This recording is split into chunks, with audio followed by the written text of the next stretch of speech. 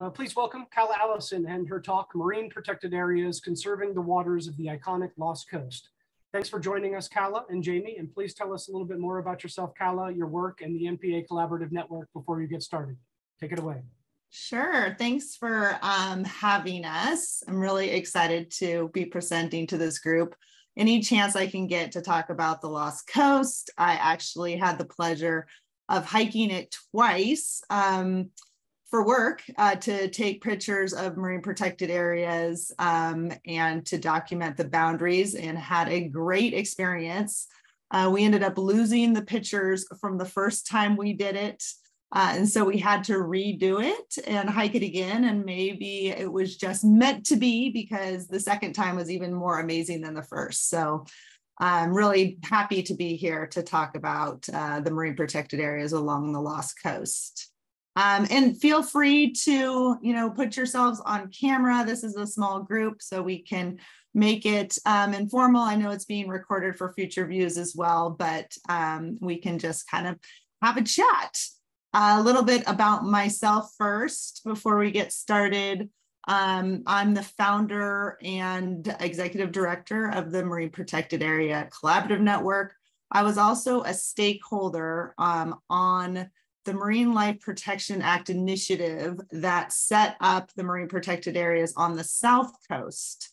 Um, I was selected because I was the Marine Protection Officer for the city of Laguna Beach and a part of this Orange County collaborative that brought together all the stakeholders and city, county, state, and federal agencies around the local management of Orange County's marine protected areas because they're being loved to death, basically. Everyone wanted to go to the tide pools. They all wanted to take a shell home. They all wanted to, you know, hold hermit crabs in their hands um, and they were being loved to death. So we got this group together to figure out how we could streamline our actions and be on the same page and have consistent messaging. Um, and it ended up being this, this great collaboration where we got to leverage each other's resources. We knew we were being consistent. We could share lessons learned. We had joint trainings with each other. Um, and so we had this collaborative group that really worked in managing the marine protected areas there. Um, and so after being a part of the stakeholder process and being connected to fish and wildlife, um, there is this idea that we should probably do this in the other counties. Um, and it took a while to, to convince Fish and Wildlife and the Ocean Protection Council to support this crazy idea of getting people together for more of a grassroots level management. Um, but that's how the collaborative network was born. And you're going to hear a little bit more about that as well later before um, we jump into the specific Lost Coast MPAs. Um, but I'm from Santa Cruz. I started out as an ocean lifeguard before I got into ocean conservation. Um, I have a master's in Pacific International Affairs, so really looked at international environmental policy as well and I kept coming to the same conclusion that if you don't have local support and local buy-in, you can pass as many international accords and laws as you want, but they're going to be paper parks unless you really have that local buy-in and sense of stewardship. So that's why we're here connecting with you all.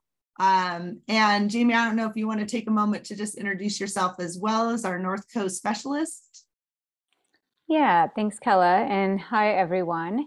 So I am our North Coast specialist. So Calla will get into the whole structure, but essentially we have a group in each of the 14 coastal counties.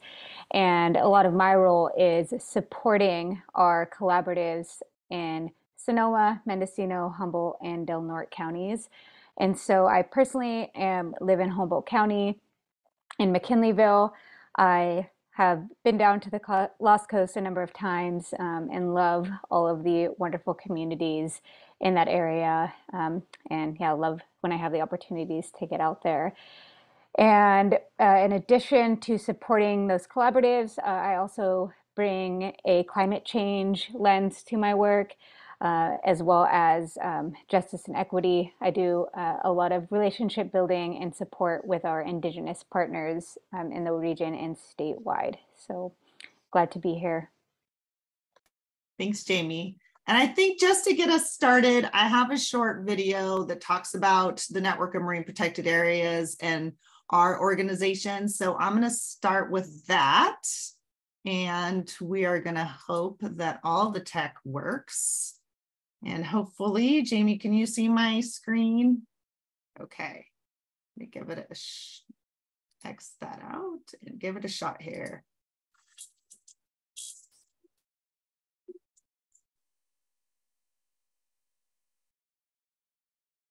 No sound, Calla. We tested it earlier and there was sound, but you're not hearing anything? Justin, Justin, I thought we heard it before. okay, let me try one more time.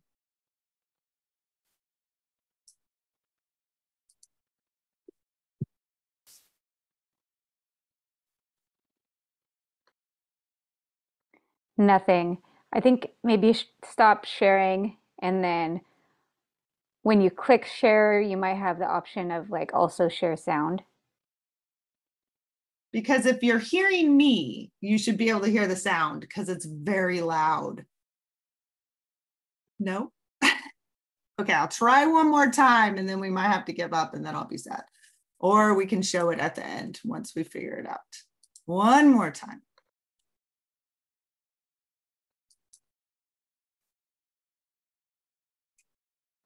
Okay, you're seeing a screen.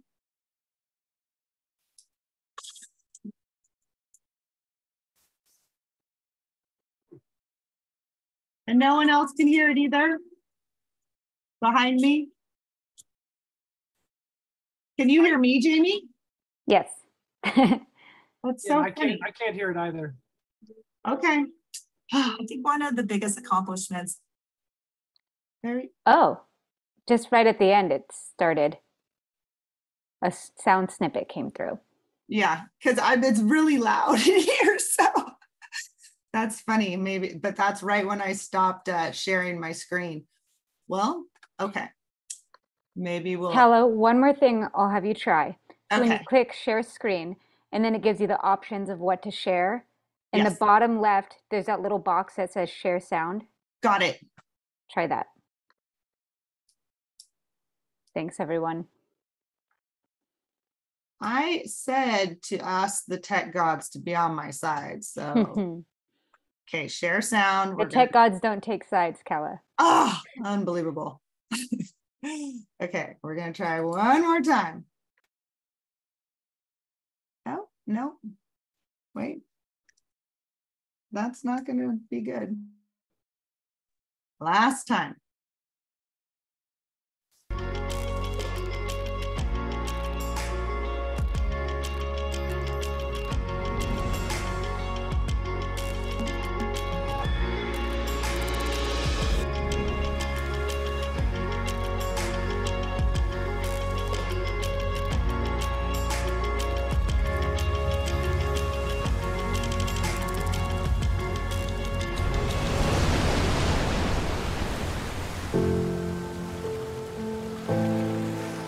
One of the biggest accomplishments of the collaborative network and something we really value is bringing together people that might not have come together otherwise to think about the best way to manage marine protected areas.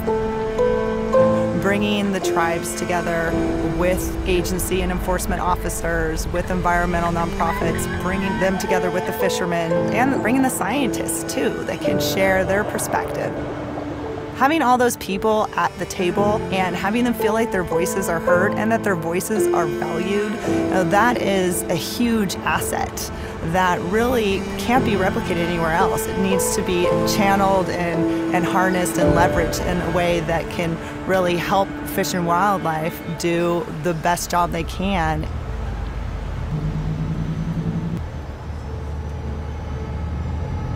I think we all are very, very concerned about the ocean condition. I mean, this is our livelihood. This is what we do for a living, and we certainly do not want to see any damage done to the ocean in any way. There's a way to work around this stuff. Everybody needs a little bit, you know, we need to give and take. one of the problems we've had historically with resource management is that people tend to work in their own little silo. The scientists work on the research and monitoring, enforcement officers just do enforcement, the nonprofits are working on the conservation side, and the fishermen are making a living. And I think it's really important connecting them to the managing agency so they're not all on their own doing separate, disparate things, but they're coming together with the managing agency, doing something that's approved, that can actually be supportive. So there's this top down, bottom up where we come together and make very valuable products, we make valuable relationships, and we're actually able to leverage not just the natural resources, but the social resources and the value they bring to the table as well.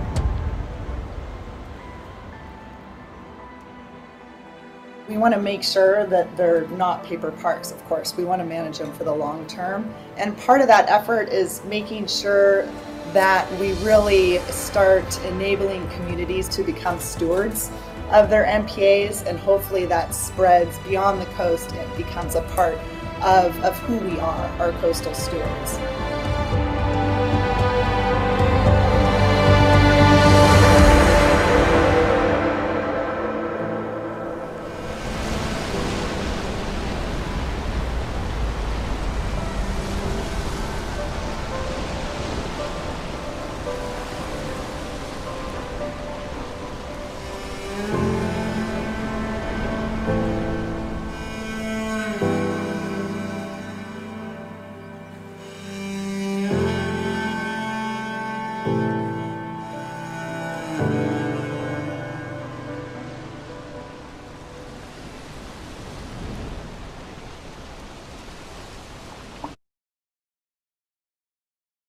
All right, we got it to work.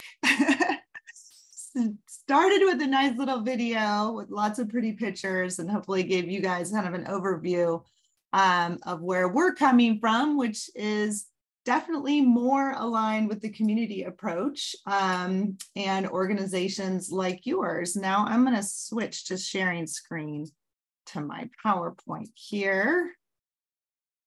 Are we good with that? Awesome. Okay, so as the video started with, oh goodness, almost showed you again. Um, California established a network, and it's actually the world's largest MPA network as far as how many marine protected areas it has connected. This was fully established in 2012. Um, and this was a big move. And I just, I guess I want to call out that this is in the law. It was passed in 1999 that we needed to have a network of marine protected areas. Um, and so the, the people of California, they voted, they decided we needed this. Um, and it took a over 10 years to actually come up with this network of marine protected areas. There were a bunch of false starts. Um, one is they just tried to, you know, kind of politically designate them, and there was a lot of pushback. Um, and then they said, well, let's base, let's go to the scientists and see where they think they should be. There was also pushback because it didn't involve stakeholders. Um, and so finally, the third real attempt was okay, what we need to do is have um, some science guidelines. It has to be run by kind of a state agency um, with support, with philanthropy, of course. Um, and it needs to be guided by stakeholders. We need the input of commercial and recreational fishermen. We need the input of the different levels of agencies and then conservationists um, and recreationists as well. Uh, and so they broke it into the different study regions. They got these stakeholders together. And basically, we had the science in front of us, and they said, now go figure out where these marine protected areas should go um, and what the regulations should be. So it was it was a lot of sausage making, um, a lot of compromise, a lot of debate, um, but we made great ground as far as increasing the level of protection. We went from just having, you know, 2.7% of state waters to 16% of state waters, which is a big jump. Um, and 9% of that is no take. Um, so on the flip side of that, for a lot of our fishing um, partners and friends, uh, that means that you know you still have 91% where some type of fishing intake is allowed for for state waters. And you can see that statewide map a lot of little colored areas that show um, the 124 plus marine protected areas that we ended up with. So the Marine Life Protection Act had goals, and these we were told very clearly what these goals were, and this will continue um, to be the main goals for as long as we have the Marine Protected Area Network. Um, and one is, you know, a big one. We need to protect the biodiversity of our coastal waters. Um, that's huge. We need to work on rebuilding populations. We don't want to make it so we can't ever fish these species again. We want to make sure they can rebound and they're sustainable. Um, we also want there to be research, education, and recreational opportunities. We don't want to close any areas off if we can help it. Um, we want to make sure we're researching it, um, that people have an opportunity to also recreate there as well. Um, protecting marine heritage is huge. We're working with a lot of our tribal partners up and down um, the state. And in also looking, you know, there's archaeological sites, there's also shipwrecks that are part of marine heritage or long term protected areas that are part of marine heritage. Um, and then they need to be managed, they need to be enforced, and there needs to be sound science um, that's backing up these protected areas. So this is kind of a clear um, point that these need to be adaptively managed. We need to monitor them. And if they're not working, we need to reassess because you we have to hit the other goals of protecting biodiversity and rebuilding populations. Uh, and it needs to be, and it, it has to function as a network. There needs to be an ecologically connected network. So it makes sense that it's hitting a whole bunch of habitat types and it's working, not just one little place is working and the rest aren't. The entire coastline of California is robust and healthy. That's the goal. So I'm just going to give like a really just high level overview of the science because I am a social scientist. I am not a marine biologist, um, but I'm all about messaging the science. And some of the bigger takeaways of what marine protected areas do is they protect bigger, older fish. Um, and we even have these great pillows, fish pillows, or we call them buffs, big, old, fat, fertile female fish pillows uh, that we take to um, classrooms and outreach events that show if it's a small fish, you're only going to make so many babies. Medium fish, you know, you're starting to, to make more. Um, you let a fish like this one, the vermilion rockfish, grow to 23 inches and they are going to make 1.7 million babies um, that are then going to populate the area. It can spill out outside the marine protected area, um, and then they can go on, and you have that exponential um, increase. And this just kind of makes sense to people. Let them grow to a bigger size, they're going to make more fish, and that's going to be um, a healthier e- ecosystem all the way around. The second main point when we're talking about the science of MPAs is that it needs to be functioning in a network. Um, and this was a part of our science guidelines we had in designating them is that, you know, they had to be a certain distance apart.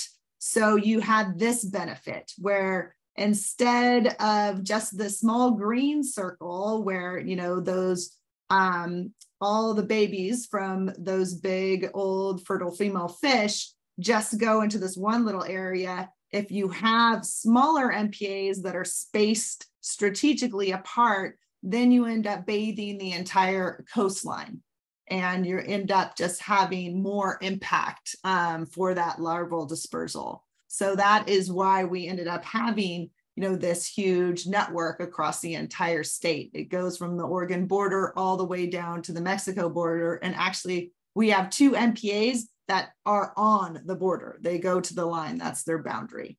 So we're really taking that border to border quite seriously. And also we're making sure that the connectivity is representative of a lot of different habitats.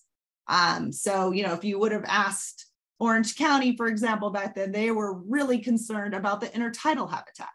So they wanted that protected. But there also was so many other habitats that need to be represented and protected as well. There needed to be sandy bottom. Um, there needed to be uh, rocky shores or submarine, like really deep water fish need to be protected as well. Um, there's all these different habitats and they all have equal value. They're all connected and they all need to have some type of protection um, represented as a part of this network. So that's kind of the reason behind establishing the 124 marine protected areas. Um, and that was great. That's our goal. But then the state was suddenly faced with how are we going to do this? This is a huge task to be able to scientifically monitor all these areas, make sure there's adequate enforcement, make sure people even know about the marine protected areas. Like, how are we going to do this for the entire state when we're one fairly small agency? Um, and the answer was they couldn't, right? They definitely needed the help um, of partners and diverse partners. And that's where we came in. Um, so I kind of told you at the at the very beginning that we had a this great collaborative group established in Orange County. Um, and you know, I didn't see any reason why we couldn't do that for every coastal county.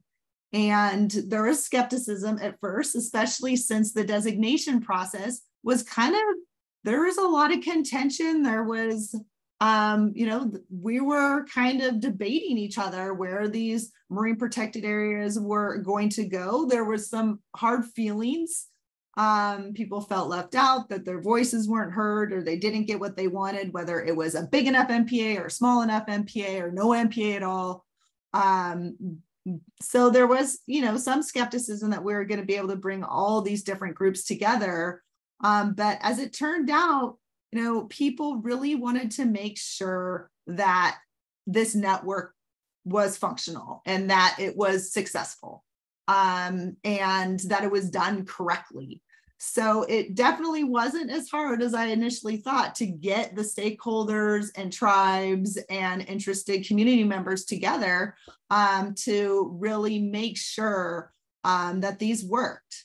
So it took about uh, probably two years total to set up the 14 um, MPA collaboratives. Um, and now we have 1,400 members and we're representing over 450 distinct organizations and affiliations. So it really grew. There was an appetite for being involved in local level management rather than just hearing about it. Um, and you know kind of one of the the benefits of of this network too is it is diverse. There's engagement across many different sectors. Um, so we're bringing the scientists together with ngos and tribal reps and government and ocean businesses and the fishermen. Um, and because of that because of the diversity because of all the resources everybody brings that's an amazing contribution to fish and wildlife for the management. I mean, it's valued um, at $20 million because they did a study of just one, came at $3.5 million in in kind um, value to support marine protected area management. So even a low estimate, we're looking at $20 million statewide that we're assisting fish and wildlife with. So, and I made one circle just around Humboldt's collaborative because um, we'll get into that in a little bit. Uh, but the collaboratives primarily assist with the priority projects um, in three management areas. So education and outreach, this is really where we first focused is how are people going to know about these marine protected areas? Let's make sure they know. Um, we also do some work in research and monitoring, mostly around community and citizen science, but we help a lot with the messaging of the science as well. And that's where Jamie comes in, you know, communicating um, a lot of the reasons why climate change and MPAs are also aligned and being able to distill that down in ways that people like me can understand. Um, and then enforcement and compliance. There are not very many fish and wildlife officers out there. There are really not a lot of wardens. Um, but there's a lot of other allied agencies and other officers out there. We have BLM rangers that are on the Lost Coast, for example. We have state parks, county sheriffs, NOAA officers, National Park Service. Uh, and so what we do is we help train all those officers in marine protected area regulations and boundaries so they can assist fish and wildlife um, with enforcing the marine protected area regulations. Now we've just expanded our impact on making sure that there's compliance. And then we know whether the MPAs work. So that's kind of how we're digging into supporting the management. Um, and so I did make the circle around the, the Humboldt Collaborative um, because you do want to make the point that you, we have this great network, 14 collaboratives, and we share, and I'll talk about that in a little bit. Um, but there's a lot of membership just in this one collaborative in Humboldt. Um, and there's a lot of great participation and interest, and there's been a ton of projects already um, in the past eight years with the Humboldt MPA Collaborative. They have put together MB, MPA Educator Toolkit. They did um, a curriculum actually that was NGSS, um, you know, approved, and they did a lot of fun projects like the Kids Ocean Day. They have many ROVs, um, just a lot of great things to get the word out uh, about marine protected areas um, to the Humboldt County community uh, and beyond.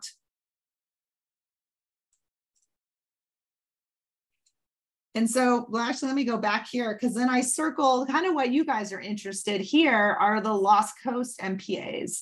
Um, so if you dive down even further from the county level, each MPA or cluster of MPA also has a group of local experts and interested um, people. So they can benefit from the larger collaborative and Humboldt and Del Norte that then benefits from the network of collaboratives. So it's just kind of this exponential impact of partnerships. Um, and I think that's, I really want to make that point because I think that's a vital, um, you know, reason for our success is that we're able to just scale up and then scale it back down figure out what may work in one area and how to adapt it to Humboldt, and then specifically how to adapt it to the Lost Coast. Um, because it's not cookie cutter, right? Where there's so many different nuance and culture and differences and accessibility, um, terrain uh, as you go up and down the coast of California, even within you know one particular county.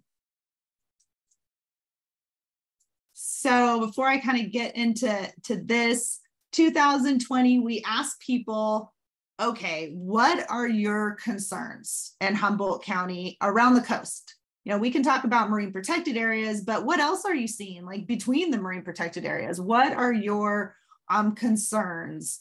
Uh, what are some of the things that you think um, are making it that people are breaking the MPA regulations? They're not complying. Um, what are the issues? and uh, we actually got a really good turnout for for this forum from community members and um, they had some concern the concerns focused on the lost coast were that people were harvesting mussels and um, and fishing and also leaving a lot or having debris washed up and leaving debris on the lost coast. Um, so that was a specific concern for this area. And you know a main factor across the county that they cited was that there's still just a lack of awareness and and i think maybe you guys can vouch for that you know you might not have it like maybe you've heard of marine protected areas i'd love to pull you guys but i know you're all muted um but there's still even with you know ocean goers and coastal um you know people that live along the coast there's still just not a huge awareness of marine protected areas um, and what the regulations are and where they are so that's a big factor. There's also a shortage of uniformed personnel or enforcement officers or people to tell you where they are. You know, hey, just so you know, you know, I'm your friendly ranger and you're in a marine protected area and you can't fish here, you have to go further down. Um, it's hard if you don't have that type of involvement to help people do the right thing. So, based on these results, the Humboldt Collaborative teamed up with the Del Norte Collaborative um, and came up with a couple of projects to address these compliance concerns. And I do want to pass this over to Jamie to talk about because, as the North Coast specialist, she really spearheaded the development and outreach to community members for input and partners um, to put these projects together. So I do want to give you a second to just talk about these projects because it's definitely something that is going, I think is already in your community now, right? We dropped off some brochures. Yes, actually, just this week, um, one of our partners at the um, Mattole Restoration Council distributed these brochures um, to various locations um, in Petrolia and Honeydew. And so um, I can actually, after this, I can put those locations in the chat in case you wanted to go um, and pick up one of these brochures and they highlight um, where all of the marine protected areas are, as well as the regulations, and there's some ecology and also information about um, indigenous peoples and their connection to the regional marine protected areas. Uh, we also uh, are putting in new regulatory and interpretive sign. Uh, we're currently working with BLM, um, Mattole Restoration Council, the King Range Alliance, uh, and local tribes to get uh, interpretive signs at either end of the Lost Coast Trail to educate hikers about marine protected areas. Um, there's also going to be now on the Lost Coast Trail maps, um, there's going to be um, indication of what is and is not allowed in the marine protected areas so that hikers um, can see those regulations. It will also, um, it shows the boundaries now on those maps, but the boundaries are going to get um, more prominent so that hikers can really see. And then um, one other thing we did is um, supported our Indigenous partners in creating this document that has uh, really the best practices for how to engage Indigenous peoples equitably in marine protected area stewardship with the acknowledgement that um, you know all protected lands are on indigenous lands and there was contention when marine protected areas were enacted. And so with all of this in mind um, historical and ongoing injustice how can those working in marine protected areas um, do the most equitable engagement um, to uplift our indigenous partners? So those are just a few of the projects that have been taking place uh, in the region this year Awesome. Thank you, Jamie. And we're really excited about these projects. Oops, let me make sure. Um, so these projects were an education outreach. This is, you know, this great brochure um, makes it's a little bit different than what we've seen in other counties because the whole big part of the inside panel is information um, about local tribes. And that was one of the priorities from the compliance and from the collaborative that they really wanted to highlight those voices. So that is something that we're taking back to the other collaboratives to share. Um, on the flip side of that, we also get to benefit from what they're doing. Um, so, you know, sign templates that we can, you know, model ours after for, you know, the trailheads, for example. Um, you know, this coloring book, we have a bilingual coloring book that has um, a virtual reality page. So you color it, you scan it that using Quiver, and then you can play video games with the fish you just colored and like make it eat like fish and become a boff. Amazing. Like a whole bunch of really cool projects that then we get to um, share across the entire collaborative and a lot of lessons learned just down the road. Mendocino and Sonoma, they trialed, you know, those Caltrans digital signs they said, you know, for really high impact areas in summer months, it would be great if we had those, um, you know, at access points as people are driving into parking lots that say, hey, respect wildlife or marine protected areas, know the regulations or leash your dogs. Um, and so that was something that was piloted as well in other parts of the state that we're able to benefit and learn from. that's kind of all the different things we're doing. Lots of MPA videos. There is a great um, video for both Del Norte and Humboldt that talks about marine protected areas. If you guys are ever doing outreach and would like to use those videos, Jamie, maybe you can put in the chat um, the resource library, library that specifically has all the Humboldt resources that are for you guys to use. It's for everybody. The idea is to really spread the word. So research and monitoring is the same thing. I saw somebody said, what's an ROV? Awesome, I love it. Um, so we actually have the mini version. So mini remote operated vehicles. We call them underwater drones or underwater robots too. Um, they're tethered and you can use them to go underwater and take video. Um, and there's been some great discoveries made. They actually got on video um, a sturgeon out at Smith River, which is the first documented case of that in I don't know how many ever, I think, Jamie, right? Um, or at least a very long time. And, um, you know, people are also using them for educational tools, having kids drive them, um, or even there's the ability to live stream into the classroom what you're seeing underwater. And this is especially good tool maybe for the North Coast where people might not be as excited to get in the water themselves, um, but still would like to see what's underwater. Uh, this is a tool that they can use. Anybody can use it as being a part of the collaborative. Uh, we also have this snapshot Cal Coast, which you go out, you take a picture with your phone, um, you upload it to iNaturalist, and it populates this statewide data set of what's happening in our in our tidal areas. And I happened to be hiking the Lost Coast during Snapshot Cal Coast and was able to document a lot of the species in the marine protected areas there, uh, mostly big flat, um, that got to populate this, this statewide um, snapshot in time of our intertidal. Um, and then we help connect community science programs to local communities too, like MPA Watch. Uh, this is something that would be great uh, to have along the Lost Coast or um, at Mattole or you know with the Petrolia community um, to say what are you seeing out there and being able to kind of mark human uses. Um, you know, I see lots of people with their dogs, or I see lots of people um, collecting shells, whatever, whatever you're seeing.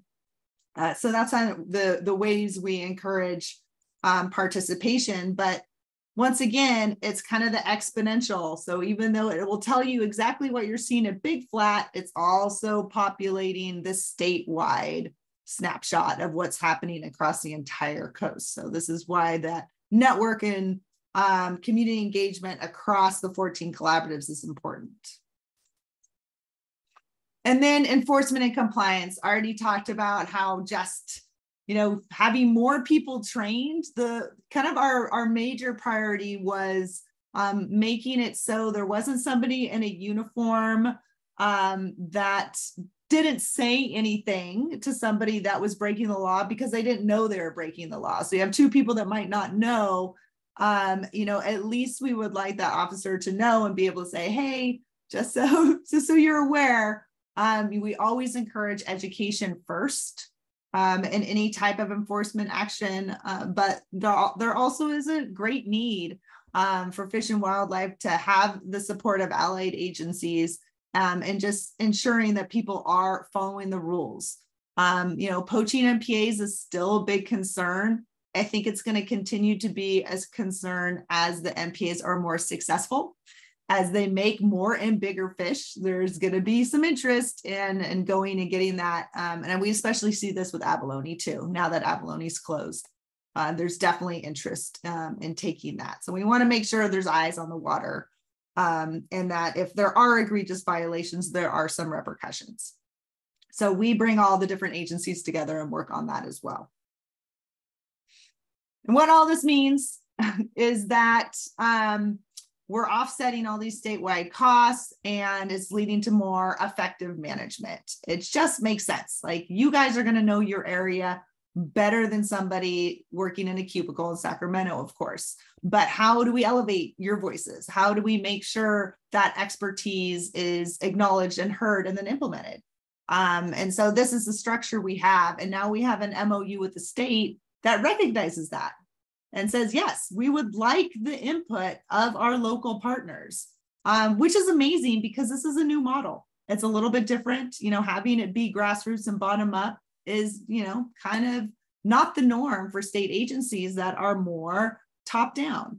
And what we do as a collaborative network is we meet in the middle and we ha- try to help facilitate that communication both up and down and then across the network.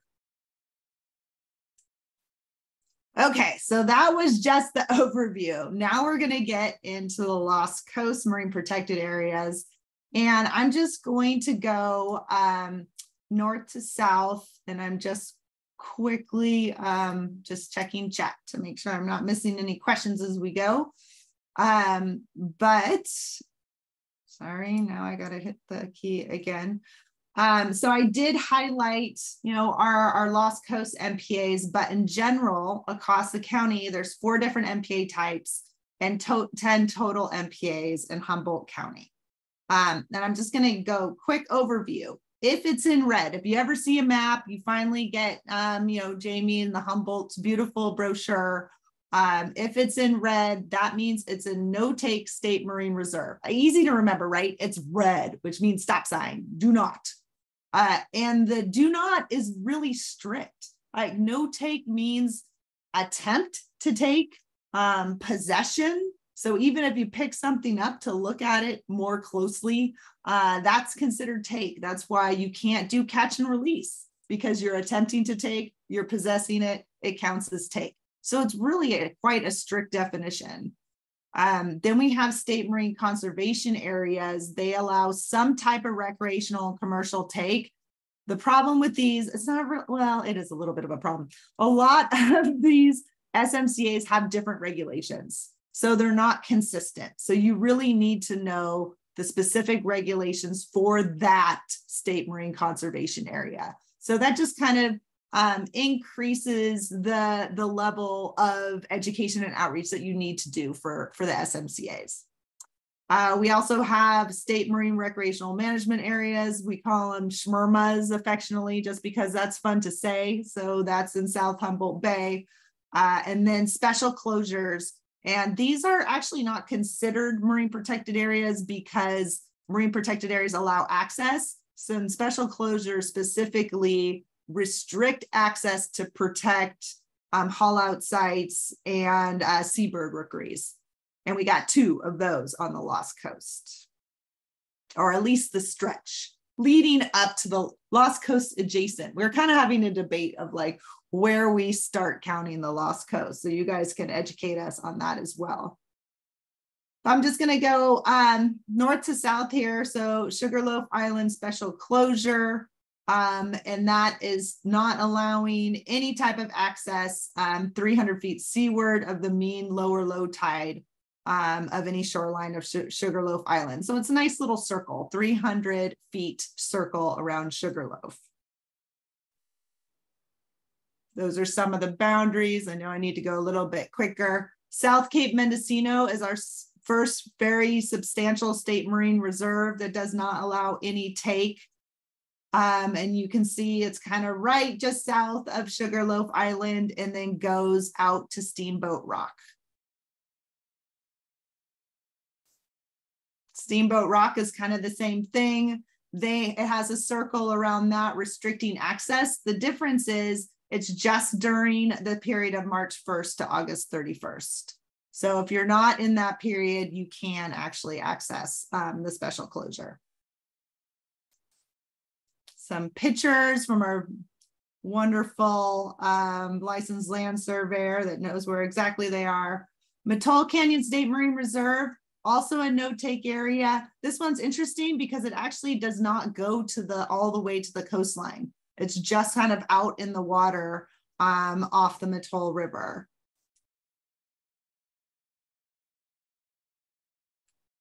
And then Sea Lion Gulch State Marine Reserve is the um, SMR that's on the Lost Coast Trail that does not allow any take approximately, you know, one mile south of the Punta Gorda Lighthouse, all the way down to the southern boundary, which is about, um, it's actually, yeah, a half mile north of Cooskie Creek, actually. That says south, but it's north. So that whole check section is no take. And then the last Lost Coast Trail MPA is Big Flat State Marine Conservation Area. So this does the way they do the code is it tells you what you can do. You can't do anything except for, and the things that are the except for are recreational take a salmon by trolling and crab by trap, hoop net, or hand. Um, and also the commercial take of those things as well.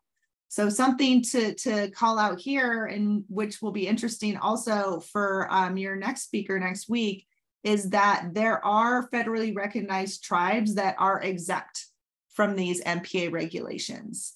Um, and for this particular area, it's a fairly long list. These are all tribes that have historical harvesting and gathering um, rights to this area and are maintaining them um, you know, through these exemptions. So they still have to have a fishing license and follow other fishing game codes, but they do not have to follow um, the marine protected area codes. And these are the boundaries. It goes from Big Creek to just south of Big Flat Creek. And there seems, this is a great intertidal section. So I did see that there's um, maybe some intertidal take going along this MPA, which would be against the regulations. And I know we're almost at the end of our time. So I guess I kind of wanted to ask you guys, you know, as the experts, um, you know, friends of the Lost Coast, I know what your questions were, what your priorities are for the future um, for protecting this whole area. I mean, as I stated before, it's meant to act as you know a network. So it's not just those areas that are in the boxes but all the areas in between that they're also stabilizing. Um, you know we want the ocean to be healthy of course along the entire stretch um, so i guess with that we can um, open it up to questions and and also you're all welcome to join the collaborative it doesn't none of this is going to work without participation um, from our local experts and community members so Justin, if you want to allow people to ask questions. Yep. So uh, I will turn on everybody's, uh, give them the ability to unmute themselves and uh, ask some questions here. All right. So everybody is now has the ability to unmute, I believe. So if you decide to do that, uh, please do so, and uh, or otherwise use the chat feature to put your questions in there. Um, I had a couple questions, I guess, to get started. Um, I was wondering about the state marine reserves and uh, why those areas specifically were designated as no take and what was going on there that sort of, uh, you know, prioritized them for a higher level of protection. Yeah, that's a good question. And I wasn't a part of um, the North Coast des- designation process, but in general, um, according to the science guidelines, there needed to be a certain amount of reserves um, to make sure that we had the level of protection across the state. And you know, a lot of the negotiation that went into it was um, putting it in a place that would be represent a certain habitat type and be big enough to actually protect that habitat, but have a minimal impact on commercial and recreational fishing. So it would have less of an economic impact. So they were kind of put in areas that might be a little bit further away um, from harbors and marinas. Um, so you could fish closer and not spend as much money on gas. So a lot of those things were taken into account. Um, and also, this is my favorite fishing place. Like if there's another place that would work, don't put it here. A lot of that went into the discussion as well.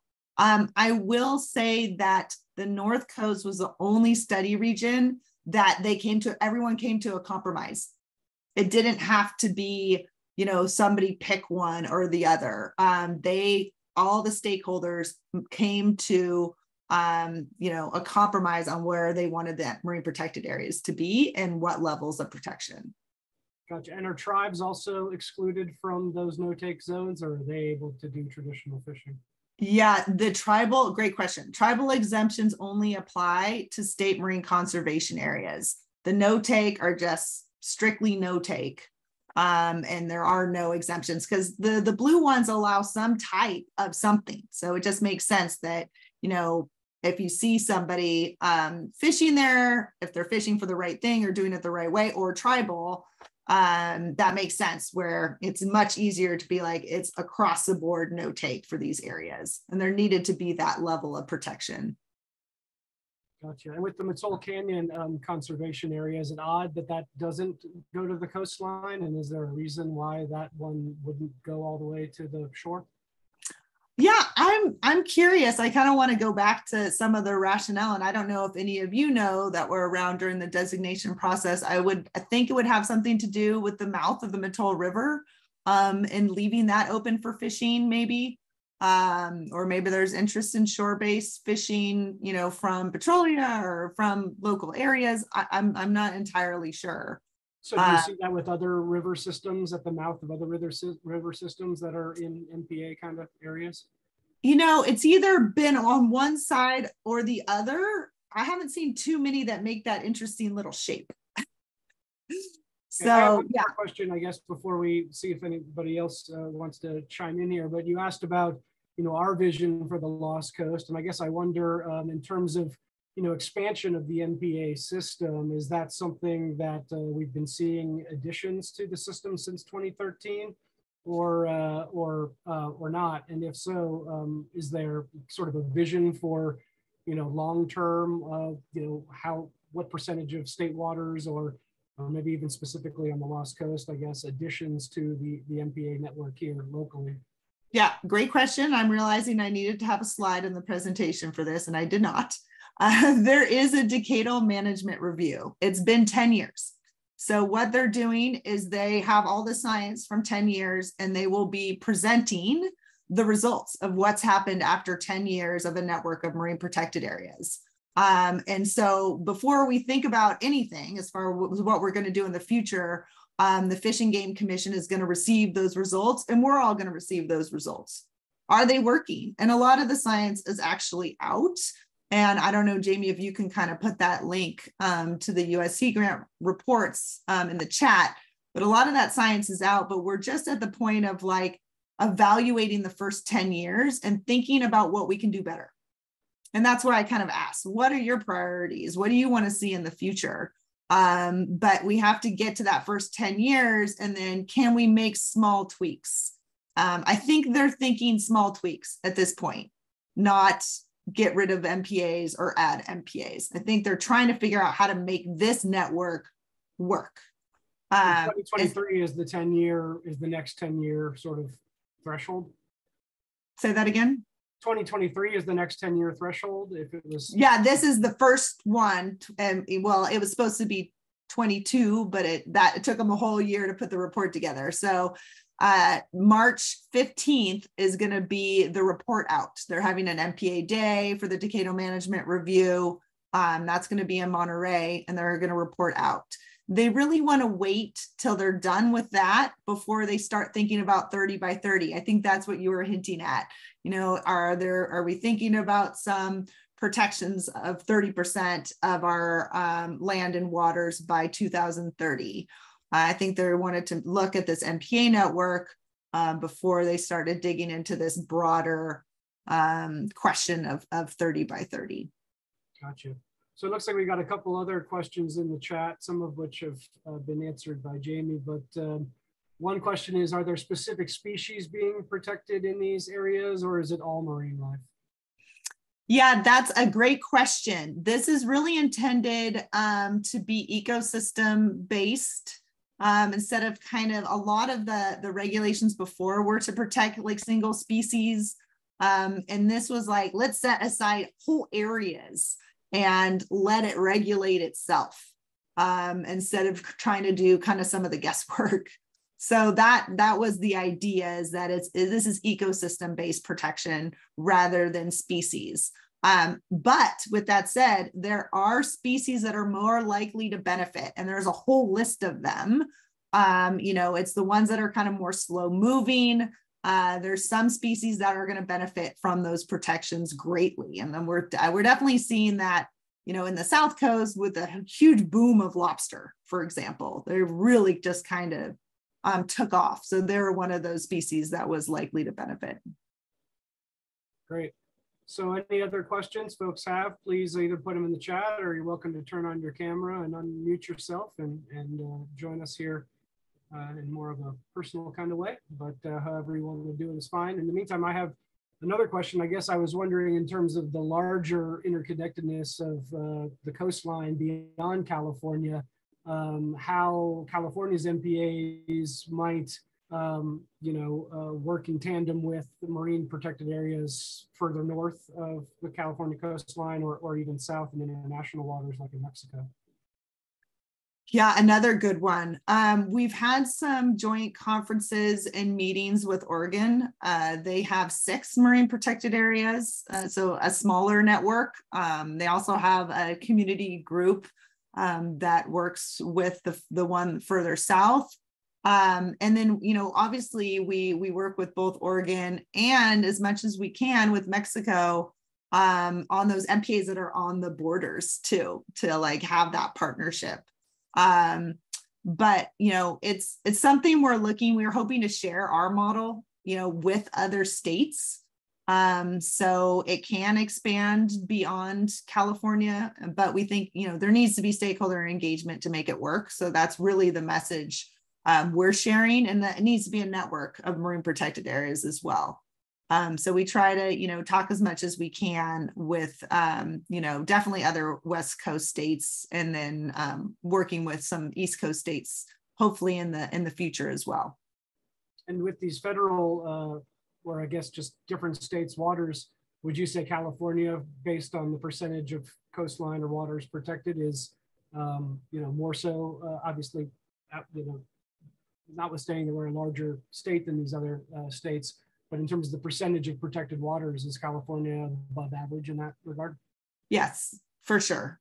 We are a way ahead of the game, and I would even say internationally. Um, and you know, we're going to IMPAC5, which is the International Marine Protected Area Conference. It's going to be in Vancouver, um, and you know, there's some great MPA management out there, but a network this large covering the entire state it's that's really not seen anywhere else not to this extent or level. So yeah california is definitely leading the way and a lot of states and countries are watching closely to see if it's successful um, and you know seeing where the bumps are and it seems like a success uh, so far would that be your take I think so. Yeah, it's going to be interesting to to get the results. You know, it's it's slow moving. So you're really not going to really see um, results for 20 years. It's just kind of the way how long it takes a vermilion rockfish to actually grow to become a big fat fertile female fish. You know, it takes a while, but um, I mean, I'm thinking just our level of engagement with the community and um, you know involvement and management. Uh, it's I think it's going to be successful and already is. Right.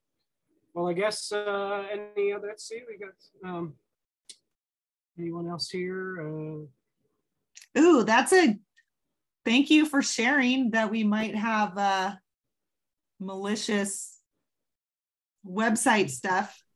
Ooh, man, we have so much security going on on our website. Our web person is not going to be excited about that, but thank you for flagging yeah, if you see anything else on our website that you can make corrections on, let us know and feel free to join. You can join whatever collaborative you want. You can just sign up for the newsletter just to stay informed. Um, but it's just a great way to, you know, participate in, you know, local stewardship.